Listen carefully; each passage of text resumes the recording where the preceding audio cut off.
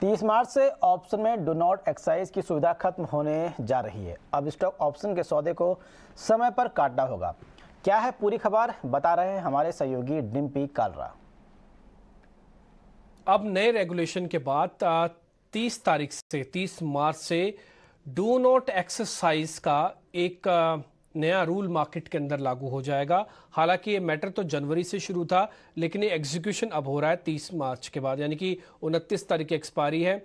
और जब आप नए एक्सपायरी की तरफ़ जाएँगे, नए सीरीज़ की तरफ़ जाएँगे, अप्रैल वाली में तो फ़र्स्ट डे ये लागू हो जाएगा। इसमें क्या होगा? डो नॉट एक्सरसाइज नाम से अपने आप में क्लियर है कि इसको रद्द करने जा रहे हैं, यानी कि अब आपको एक्सरसाइज करनी होगी। डू नॉट एक्सरसाइज खत्म हो रहा है। अब आपको एक्सरसाइज करनी होगी। क्या एक्सरसाइज करनी होगी? आपको अपने सौदों को सेटल करना होगा। इससे पहले तक क्या होता था? अगर आप अपने सौदों को, खासकर ऑप्शंस के ट्रेड को सेटल नहीं करते थे तो उसके बाद ब्रोकर या एक्सचेंज अपने आप से उसको सेटल कर देती थी और आपके अकाउंट पे जो भी पैसा का लेन देन होता था ज़ीरो करके आपको दे देती थी। अब ऐसा नहीं होने वाला। मैं एक एक करके सारे पॉइंट्स आपके सामने रखता हूँ। ऑप्शंस के सौदों को इस समय काटना ज़रूरी है।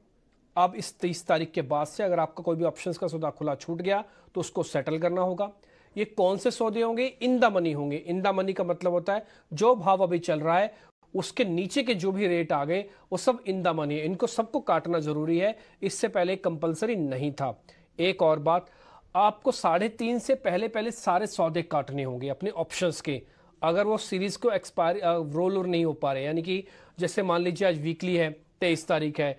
तो आज तक के जितने भी ट्रेड है तेईस तारीख के एक्सपायरी के, साढ़े तीन बजे से पहले पहले आपको काटने होंगे। सिस्टम बाद में काटेगा नहीं, बल्कि सिस्टम आपको ऑप्शंस में ले जाएगा।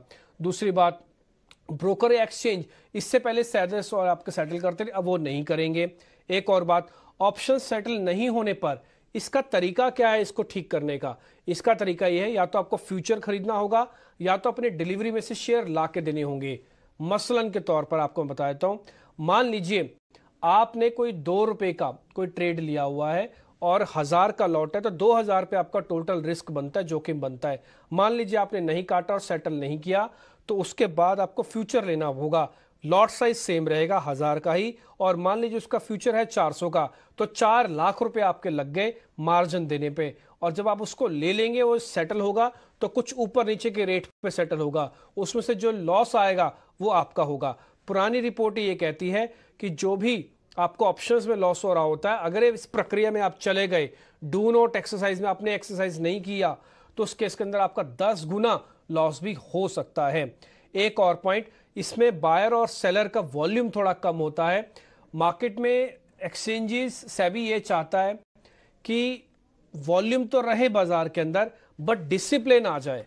बाज़ार में किसी तरह का डिसिप्लिन होना ज़रूरी है ऑप्शंस के अंदर, क्योंकि वॉल्यूम बढ़ रहा है, लोगों की मेच्योरिटी आनी चाहिए, बहुत पैसा लोग गवाते हैं, और एक एक खेप जो पूरी मार्केट की बहुत पैसा कमाती है, बहुत रिसर्च और बहुत रिपोर्ट्स इस पर आ चुकी हैं।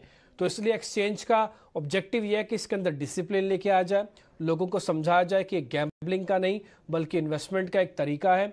तो कुल मिला अब आपको अगर बड़े लॉस से बचना है लबल अब आप स्टोरी का यही है कि आपको साढ़े तीन से पहले पहले अपने सभी सौदे ऑप्शंस के काटने होंगे।